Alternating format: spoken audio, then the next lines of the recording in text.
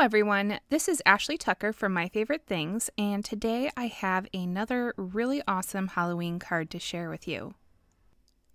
I absolutely love the stamps that came out in this release. I really like to make Halloween cards, so when I saw this Boo Crew stamp set, I was really excited to make a card with it. I know that Halloween cards aren't for everyone, but I absolutely love them. And when I first started making cards, I wasn't really into Halloween cards because my thought process was, why do I need to make a Halloween card for someone? It doesn't seem like an occasion that you'd give somebody a card, but they are so fun to make. And I don't think you really need an occasion to give someone a card. So if you like Halloween and a friend of yours likes Halloween, why not send them a Halloween card? I'm definitely a Halloween card convert now. I make them every year and I think that they're a blast. Anyway, these four stamps come from the Boo Crew stamp set. I stamped them with my MISTI tool using some Copic friendly black ink, and I stamped them onto some Neenah Solar White cardstock. I started by coloring in the little Frankenstein boy's skin with some green colors. I really wanted him to look like a classic Frankenstein, but still really cute. So, what I did is I went on Pinterest and I searched Frankenstein cartoon, and a lot of images came up, and I kind of used those as a guide for my coloring. I do this kind of thing a lot when I'm trying to pick out colors for my images. Uh, for example, if I had an image of a dog and I couldn't come up with any colors for it, I might go on Google image search or on Pinterest and look up dogs and pick one that I really like and try to kind of follow those colors. So, the biggest reason that I looked for those images of Frankenstein is because I couldn't decide what color to do his shirt. And when I looked up all of those images, almost all of them were wearing a purple shirt. So that's what I went with. Once that was decided, it kind of decided a lot of the rest of my card because once I had the purple on Frankenstein, I knew that I wanted to kind of add purple throughout the rest of the images. And that's because when I have a bunch of images like this, I usually try to make them kind of go together and be more cohesive with their colors. This, of course, is a personal choice, and you definitely don't have to do it. You don't have to color your images all matchy matchy to have a really good card, and I don't always do that, but I do tend to do it more often than not.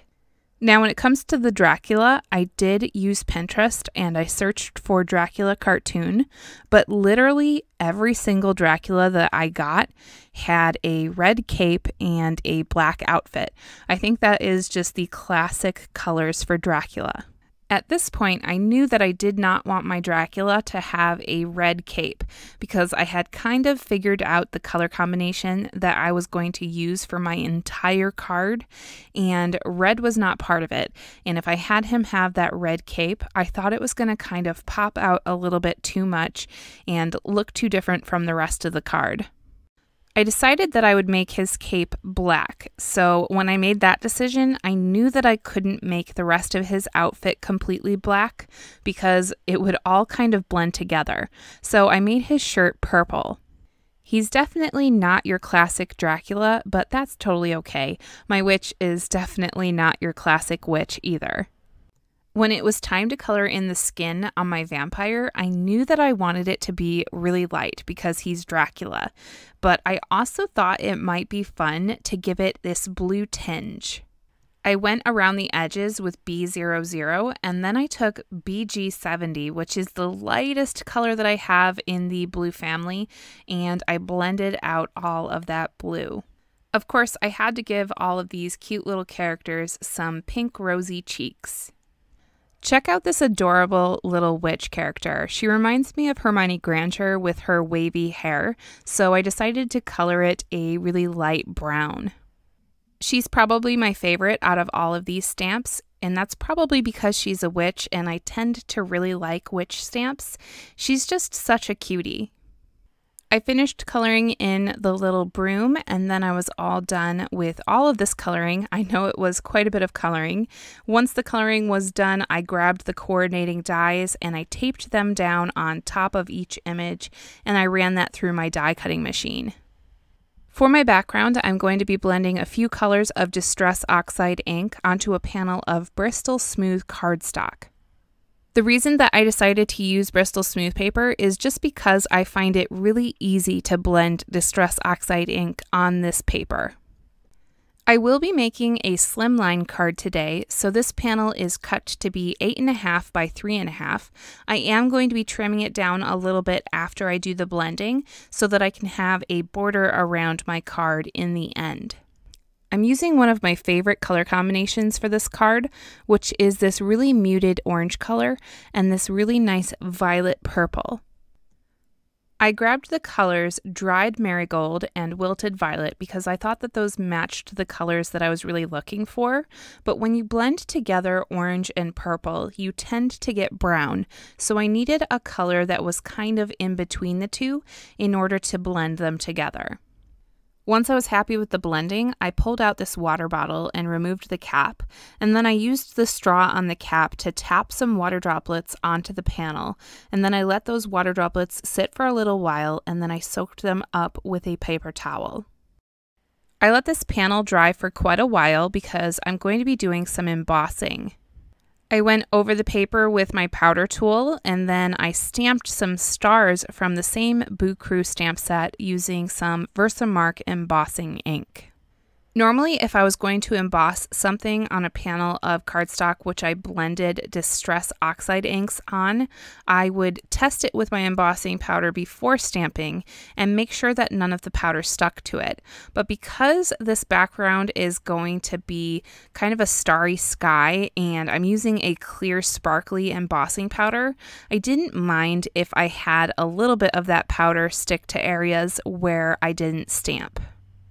So I sprinkled my embossing powder over the stars and then I heated it up with my heat tool. I took out a piece of black cardstock, which is cut to be the same size as my background panel. That panel, by the way, has been cut down to 8 by 3 at this point.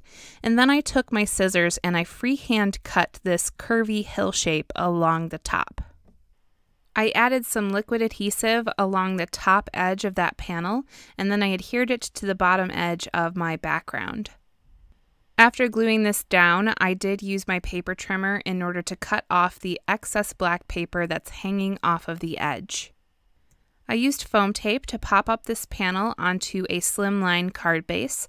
This card base is cut to be 3.5 by 8.5 inches. By the way, My Favorite Things just came out with some really awesome slimline dies in this latest release. I have not gotten my hands on them yet, but I'm definitely going to grab them because they come with some really awesome options for your slimline cards. They even came out with some dies to make grass, which spans across the entire front of a slimline card. Anyway, I took those little characters that I cut out earlier and I arranged them on the front of the card and glued them all down with some liquid adhesive. I picked out a sentiment from the same stamp set and I stamped it with embossing ink onto some black cardstock and then I embossed it with a white embossing powder. Cut it down into this strip and I'm going to pop that up on my card with some foam tape. I think that with this group of cute little characters and this sentiment, this card would be perfect for inviting someone to a Halloween get together. I really like to invite a group of friends over for Halloween to play board games, so a card like this would be really perfect for sending out that invite. I thought that this card needed some details on the sides of the card, so I took out this tree die, which comes from the Haunted House die set, and I cut two of those out of some black cardstock, and I just kind of cut them so that they fit along the side of the hill, and then I glued them down with some liquid adhesive.